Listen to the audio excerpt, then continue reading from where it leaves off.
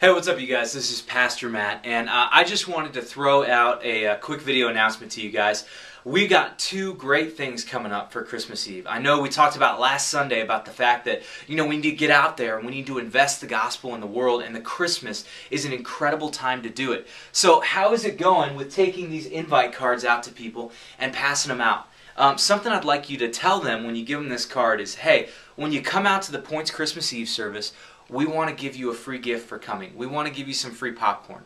Everybody that comes to the Point's Christmas Eve service this Christmas gets a free bag of popcorn when they come in. It's our way of saying just kick back, relax, and enjoy the Christmas season. We're going to have some great Christmas music. We're going to have a great Christmas message, and it's going to be a great opportunity for people to just enjoy Christmas, but most of all, to hear the gospel message of Jesus coming into the world. So, we'd like to invite you to tell people, hey, there's some free popcorn. And if you'd like to help us get the word out even more, we've got something big coming up.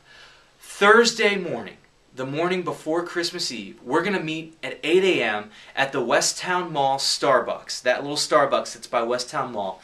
And we're going to get a team of people together to go out and pass out some door hangers to some of the areas around the mall. It's our way of inviting people out, giving them one more opportunity to come out to the point for Christmas Eve. And we could really use your help. So, if you would like to help us invest in the community around us and come out and hang some door hangers on Thursday morning, we'll be meeting at the Starbucks, 8 a.m. We'll get you a cup of coffee to get you on your way and going, and we'll break off into some teams and we'll go out in the community and tell people about the Point's Christmas Eve service. And I'm so proud of you guys. The volunteering has been incredible, and we can't wait for the 6:30 Christmas Eve service this Christmas Eve. Hope you all are having a Merry Christmas, and please give me a call if I can be praying for you or if you need anything.